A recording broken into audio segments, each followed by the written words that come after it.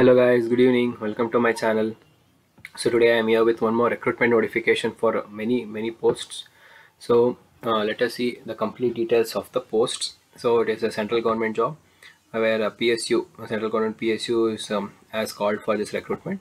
Now let us see it, look into the details. Okay, so if we see here, there are some posts which doesn't doesn't need any experience. So this is the experience column, and there are five, four posts which doesn't need any experience. So you can see officer, shop planning and control officer, quality control mechanical, officer personal administration, officer supply chain management. So if you look into the salary also, the salary is quite good, 54, 54,000 and the maximum limit is 30, um, 30 years, but the uh, posts are less, that is four posts are available and for you are OBC and uh, uh, you are EWS. So for these uh, four categories it has been called.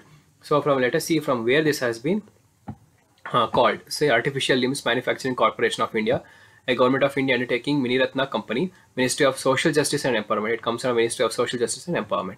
So uh, these are the different posts that has been called. So since no experience is required i thought of making this video and posting will be in anywhere in india. So now let us see the other complete details. So last date of receipt of application in the corporation is 18th january. So there is no online application uh, offline application should be done and I will attach the offline application also. And uh, before 18th you need to send the application. So in India also it has been provided. You can read if you, if you want to see.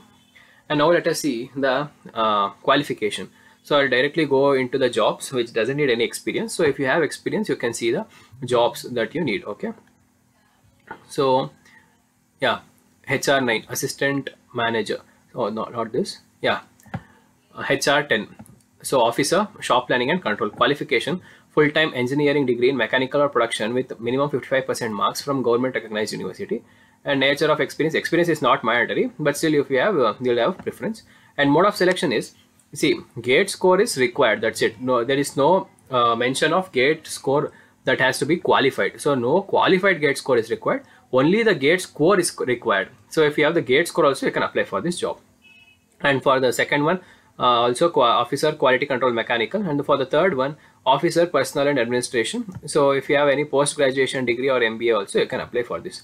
And for quality uh, officer material management if you have mechanical electrical engineering with minimum 55 percent marks with government you can apply for this. So these were the four jobs i uh, four uh, posts that i thought it would be helpful for many people.